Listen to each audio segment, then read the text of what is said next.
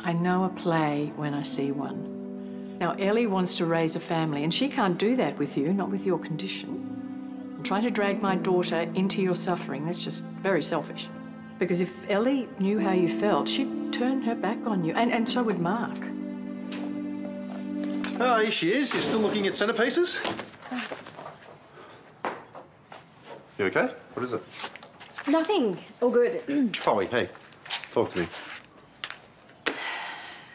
I don't know. It's, it's just um. All this wedding stuff.